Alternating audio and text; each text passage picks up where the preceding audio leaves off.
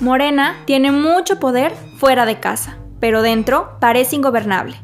Y es que ahora tienen dos presidentes, uno que recién llegó, Alfonso Ramírez Cuellar, y otra sin ganas de irse, Jed Kolpolemsky. Entonces, ¿quién manda en Morena? Esto viene desde octubre pasado. No es un secreto que las filas de Morena están divididas por conseguir el mando del partido y en la elección para renovar la dirigencia se acusaron irregularidades y se anuló la votación. El Tribunal Electoral del Poder Judicial les pidió volver a votar.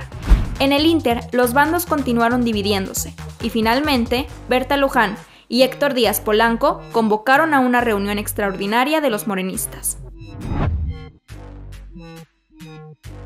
No todos asistieron al llamado, de hecho, el quórum fue de 1.310 congresistas cuando son 3.000. Incluso la misma presidenta en funciones, Jed Kolpolemsky, no asistió a la reunión.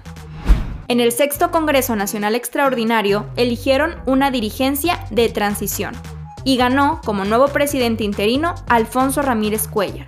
Su victoria fue unánime.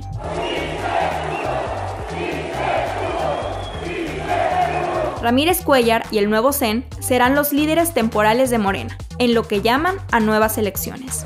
Creo que es un paso adelante en la reorganización que necesita nuestro partido. Bueno, pero no tan rápido. Jed Kolpolemsky dice que la votación fue ilegal y que quienes convocaron la reunión no tenían la facultad para hacerlo.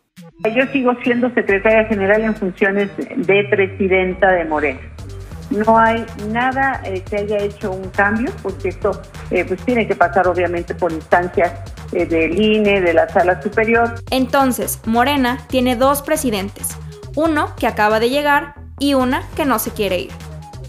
Y mientras dentro de casa siguen rompiendo platos, sí hay algo en lo que todos coinciden. Estamos dejando muy mal al, al partido.